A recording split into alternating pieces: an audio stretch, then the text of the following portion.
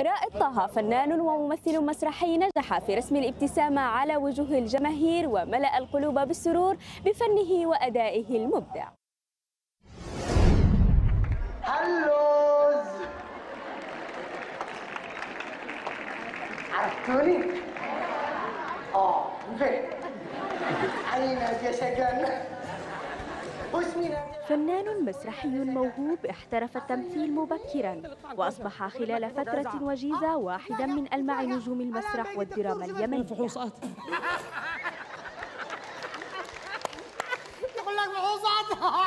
نعم فحوصات.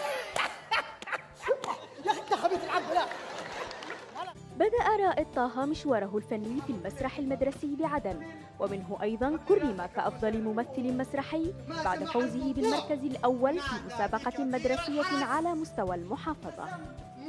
تسام يا نبيل تسام الحرس يعني كان في معنا مسابقة في ثانوية عثمان عبده آه، في عهد ال- الأستاذة جوهرة حمود. كانت الفترة دي فترة آه، مسابقة بين الثانويات آه، في مجال ال- المسرح. فشاركنا أنا والزملاء قاسم رشاد وعدنان الخضر آه، في هذه ال- المسابقة وكان مجموعة كبيرة معنا صابر الهارب وريمون ومجموعة كبيرة من اللي آه، وقفوا التمثيل حاليا. فاشتركنا نحن وهم وفزنا في في المسابقة اللي بين الثانويات على مستوى المحافظة. ومنها بعد كده تأهلنا من مستوى المحافظة وبالفعل برضه كان نجحنا في المسابقة وحصلنا على المركز الثاني أو الثالث آه، في ذاك الوقت. ومن هنا بدأنا نتعرف على بعض وبدأنا نفكر بأنه ليش ما نكبرش الموهبة هذه ونعملها فرقة و... ونشوف حظنا يعني. إيش مستوصف؟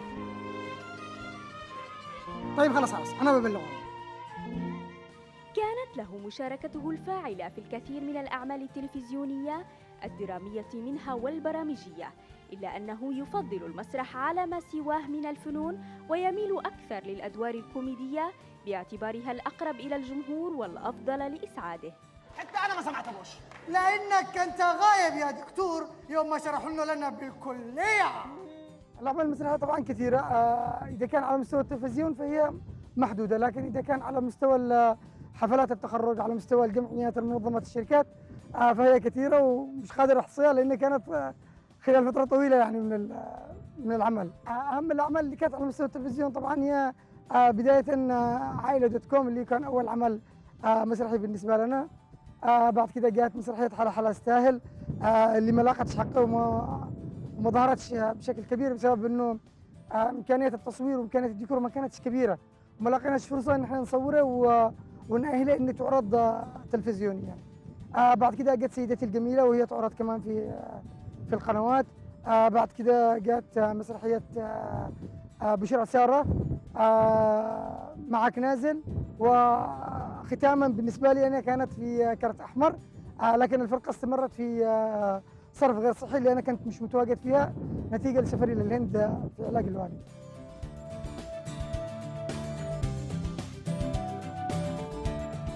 يؤكد الفنان رائد طه على أهمية الفن في الحياة ودوره المؤثر والفعال في المجتمع ويتطلع أكثر إلى اهتمام حكومي يعيد لعدن مكانتها وللفن اعتباره.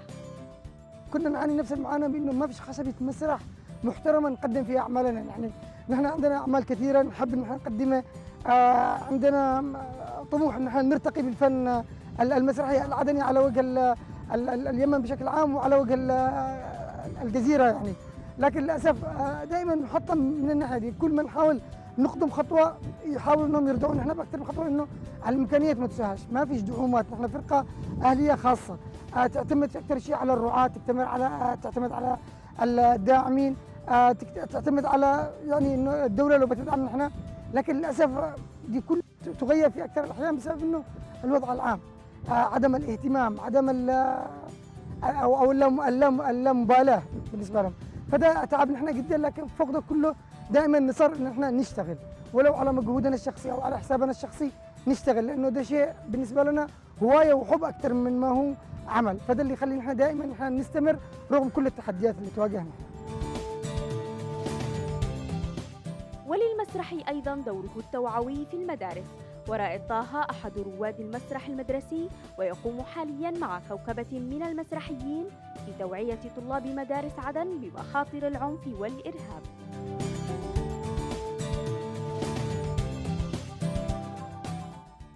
نوعيهم من من مخاطر حمل السلاح من الانضمام للميليشيات المسلحة آه، من كيف آه، يعني آه، إنهم ما ينقروش أو ما ينخرطوش في في في الميليشيات اللي بتتعب نحن وإنه يكون كل شيء تحت إطار الدولة.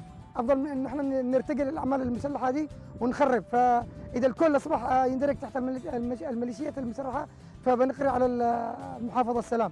فعشان كذا نحن نعمل توعية إنه نحاول نرد الشباب قليل نردعهم إنهم يوقفوا حمل السلاح إطلاق الرصاص في الأعراس والمناسبات ففي هناك ساحات لإطلاق الرصاص.